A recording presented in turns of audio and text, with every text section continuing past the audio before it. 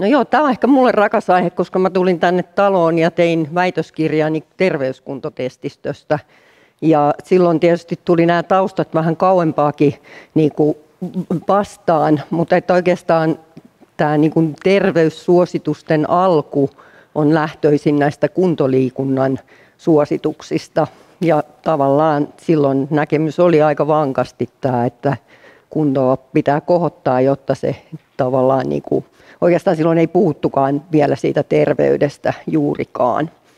Mutta nämä on ollut tosi merkittäviä niin kuin juttuja koko liikuntalääketieteelle, kuntoutukselle ja oikeastaan sitten näin entisenä fysioterapeuttinakin, niin mua välillä harmitti silloin alkuaikoina, että aina oli vaan tätä kestävyyskuntoa ja hengitys- ja verenkiertoelimistöä, mutta katsotaan, koska se sitten rupesi vähän muuttuu. No ensimmäiset liikuntasuositukset, näissä siis puhutaan nyt nimenomaan tästä liikuntaliikunnasta, että ei ole mitään päivittäistä kävelyä, niin on lähtöisin sieltä Amerikasta nämäkin. Ja ensimmäinen, jonka nyt tunnistin, niin on sieltä vuodelta 78.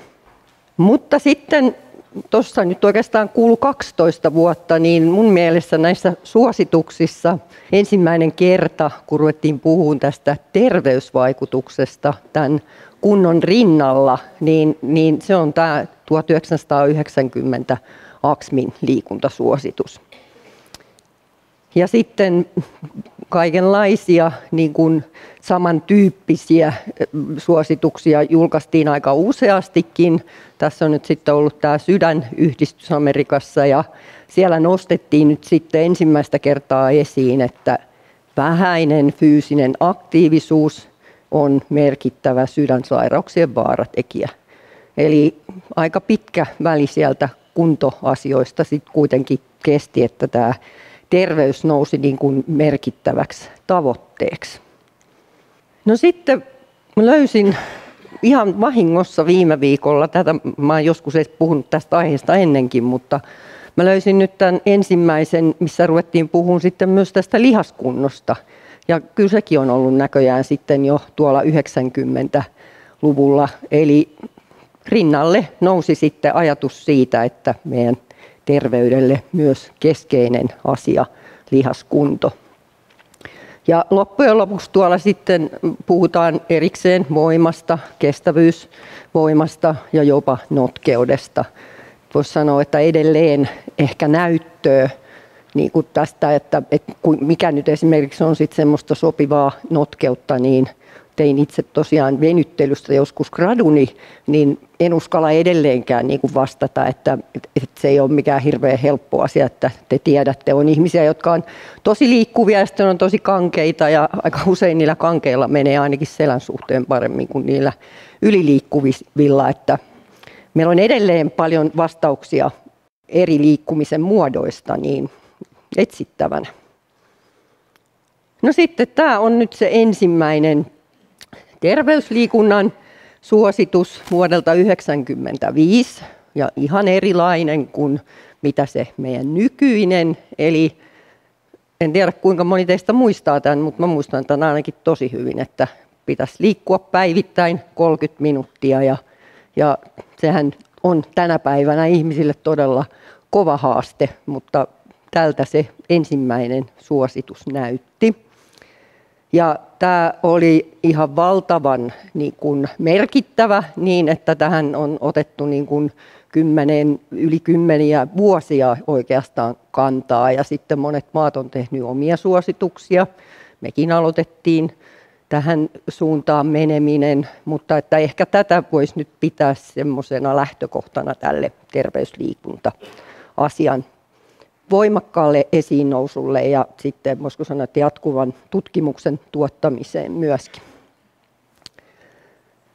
No sitten tämä lihavuus oli Amerikassa jo aikaisemmin ongelma kuin meillä ja tämä oli mun mielestä aika jännä havainto, että just sitten kun tuli tuo ensimmäinen terveysliikunnan suositus, niin siellä niin kuin erikseen mietittiin, että minkälainen suositus tähän lihavuusasiaan pitäisi saada.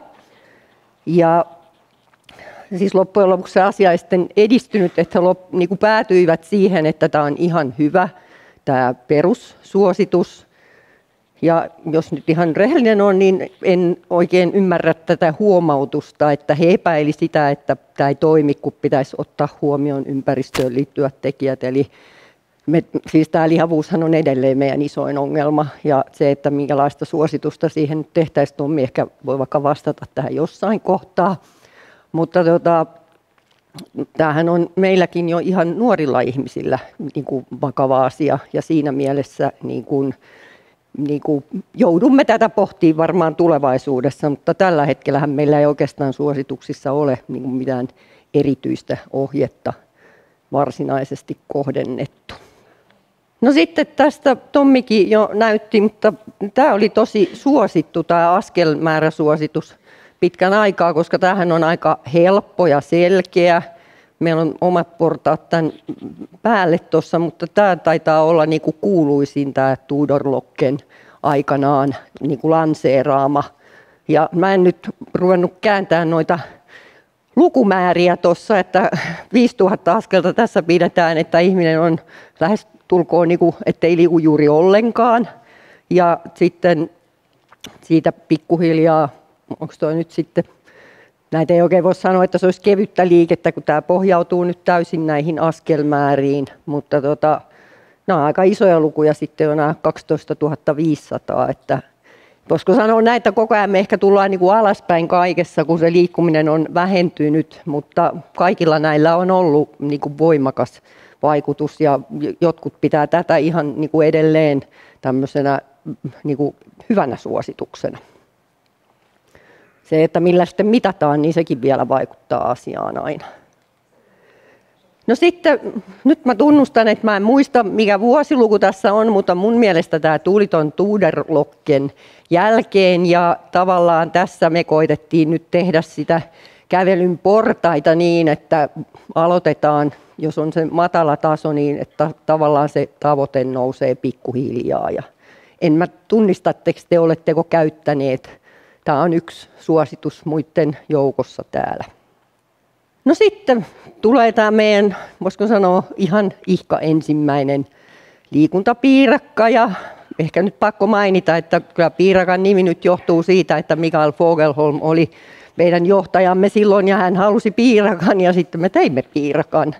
Ja ei se mitään, tämä piirakkahan on toiminut ihan hyvin, että ottakaa nyt mikäs niin, että jos me, tämä ilmestyi varmaan ennen joku tämä, tästä tehtiin ihan tämmöinen kansainvälinen artikkeli, jonka näette siellä ylhäällä tuon viitteen, mutta tässä kuitenkin niin meillä oli aika niin kuin tiukat nämä kriteerit, eli lähettiin niistä kansainvälisistä suosituksista, haluttiin, että piirakka toimisi tämmöisenä neuvonnan apuvälineenä.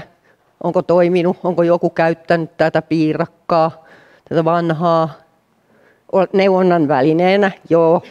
Sitten varmaan tässä näkyy mun ja Marion osuus siinä, että fysioterapeutit halusivat ehdottomasti, että otetaan huomioon tämä, myös tämä lihaskuntoliikunta ja meillähän on siellä nyt pitkät lajiluettelot myöskin tärkeä oli arki, hyöty, työmatkaliikunta. Ja aika kauan aikaa tätä käytettiin. Ja sitten tuli Tommitaloon ja sitten tuli seuraava piirakka. Tämä lähti nyt siitä samaisesta amerikkalaisesta ison niin kuin tiede ruljanssin läpikäyneestä. Ja on tämä nyt ihan erinäköinen ja, ja tässä tietysti on edelleen varmaan paljon samaa sitten siihen tämänpäiväiseen, mutta että tämä on periaatteessa ihan näyttöön pohjautuva. Mutta on se jännä, kun nuo kuvat, jos tuota edellistä kuvaa katsoo, niin se näyttää kyllä ihan kamalan vanhanaikaiselta ja ei tämäkään nyt enää näytä ihan kauhean modernilta. Että ehkä se on niin kuin, tavallaan se kymmenen vuotta on niin kuin se viimeinen kohta sitten aina uudistaa nämä. Mutta sisällöltään hyvin tämäkin oli samantyyppinen. Noi ajat on nyt siellä vähän selkeämmin reippaalle ja ripeelle. Tunnette ne erittäin hyvin. Ja tuossa on nyt kolme tämmöistä, mitä mä ajattelin, että ehkä sain eniten ajatuksia.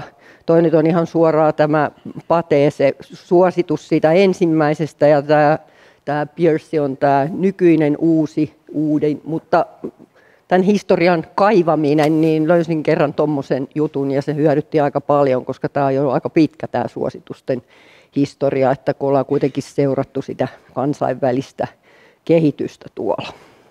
No sitten vielä, mullakin on tässä nyt tämä Jana, joka on oikeastaan muuttanut meidän kaikkien elämän täällä, niin kuin voisi sanoa, tämän tutkimuksen tekemisen näkökulmasta, että tässä puhutaan nyt, tästä kuvasta puuttuu edelleen uni, mutta se mitä Tommi tuossa jo vähän niin kuin sanoi, siis on ihan mahdollista laittaa ja taitaa ollakin mulla seuraavassa kuvassa, mutta tämä koko niin kuin objektiivinen mittaaminen ja tämä jana, niin, niin me ollaan niin kuin aivan uusien asioiden äärellä tavalla, että me saadaan äärimmäisen tarkkaa tietoa ja toisaalta sitten meidän pitää pystyä näkemään, mitä vaikeuksia meillä tässä on.